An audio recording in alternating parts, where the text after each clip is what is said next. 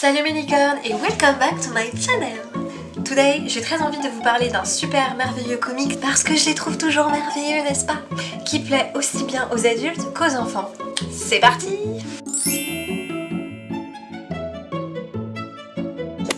Cette fois-ci, il s'agit de Courtney Crumrin et les choses de la nuit. Ce comic appartient aux éditions Aquileos et il a été réalisé aussi bien au niveau de l'illustration que du scénario par Ted Naif. C'est une série euh, de comics qui se compose de 6 tomes avec 4 tomes qui font partie de la série Courtney Crumrin et 2 hors-série qui vont concerner plutôt un personnage dont je vais vous parler et qui s'appelle Alosius. Alors ce comic c'est absolument parfait pour la période automnale de l'année ou même voir la période de Noël. Euh, j'ai très envie de lire en ce moment tout simplement parce que c'est ou c'était Halloween il y a quelques temps. cette série existe donc en français et en anglais. Elle est au prix de 15 euros, moi j'ai réussi à obtenir le bien d'occasion à 12 euros. N'hésitez pas à aller checker les prix d'occasion, c'est toujours mieux et ça fait du recyclage de livres. Dans ce comics de Courtney Crumrin et les choses de la nuit, on va suivre les aventures de cette jeune fille qui a seulement 8 ans et qui va en fait déménager et suivre ses parents dans une nouvelle demeure qui est complètement différente de ce qu'elle connaît puisqu'elle vient d'un quartier de banlieue dans une grande ville et elle va se rendre dans une ville qui s'appelle Hillsborough. Hillsborough en anglais ça veut tout simplement dire le quartier euh, des collines en fait. Et donc Courtney Crumrin va déménager dans ce manoir gigantesque qui retrouvait un grand grand grand grand oncle très lointain mais ses deux parents sont omnibilés par les apparences sociales et donc ils ne connaissent pas beaucoup l'oncle et ont décidé de déménager tout simplement pour une question de fric.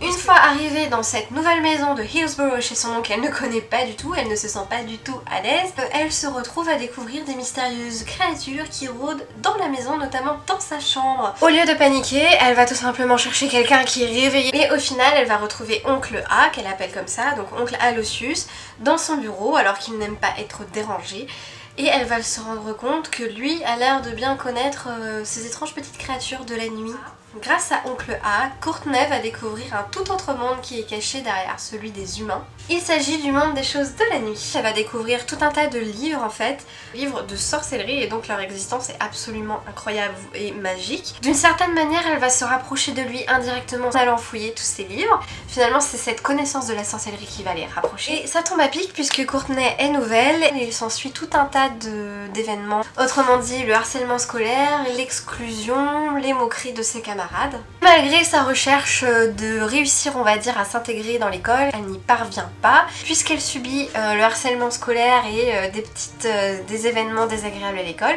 Elle va s'amuser à utiliser la sorcellerie pour se venger pour arriver à ses fins personnelles.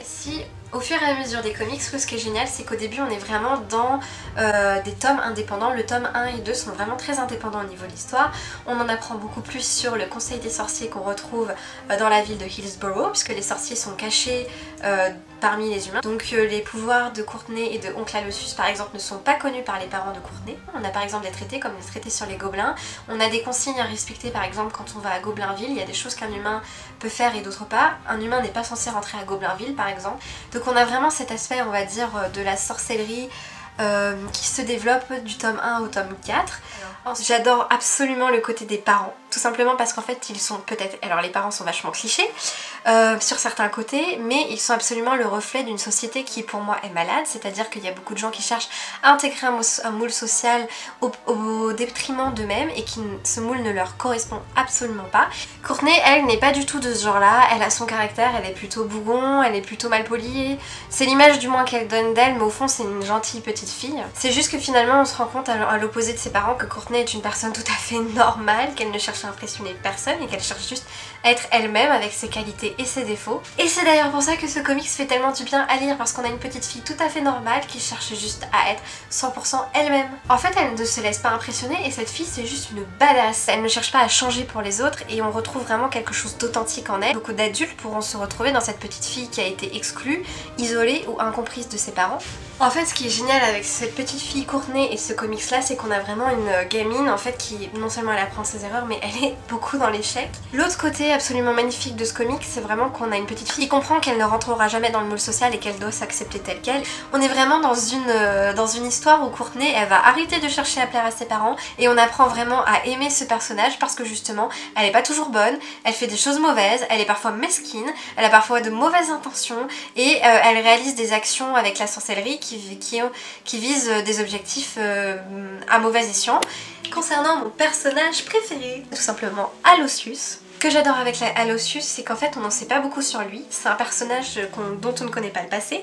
L'auteur fait ça avec une finesse incroyable pour nous donner des petits indices par-ci par-là à travers euh, les capacités de l'oncle Alossius dans la sorcellerie puisqu'il vient souvent en aide à sa nièce, sa petite nièce Courtenay. Et en fait on retrouve un oncle qui ne la connaît absolument pas mais qui est capable de, l'atteindre à travers les livres, à travers beaucoup de choses et de, de lui apporter énormément dans un monde où personne s'occupait d'elle quoi. En même temps Alossius reste un grand mystère puisqu'on en apprend petit à petit avec lui qu'au travers de Courtenay qui fait beaucoup de bêtises et qui se retrouve sauvé par le gong grâce à Oncle A à chaque fois, on se dit que c'est un mauvais schnock, mais en fait il a de très bons côtés. Concernant les deux hors-série, euh, ils sont surtout centrés sur Oncle Alossius quand il était plus jeune, sur deux aventures. Mais ces deux aventures qui nous permettent d'en apprendre plus sur la jeunesse d'Alossius, notamment quand il est tombé amoureux d'une femme, et aussi sur ce qui s'est vraiment passé à certains moments avec le Conseil des sorciers. Ce que j'aime aussi énormément dans ce comics, c'est qu'en fait il est en noir et blanc, des visages pointus, les apparences physiques qui sont très travaillées, par exemple on retrouve énormément de rides, notamment sur le visage de Oncle Alossius, qui fait presque penser à un tronc d'arbre. En fait, tout paraît très flippant sur le design des créatures, sur le design même euh, des visages des êtres humains. En tout cas, j'adore vraiment euh, ce comics-là euh, parce qu'on n'est pas dans ce côté que le bien, que le mal, tout est mélangé. Et donc, pour toutes ces raisons, je vous recommande absolument ce comics qui existe seulement un 6 tomes. Il existe en version noire et blanche chez Achilleos ou en version colorée. Et sur ce, mes belles licornes d'amour, je vous souhaite le meilleur et je vous dis à bientôt dans une prochaine vidéo et je vous fais plein de bisous de licorne séchées.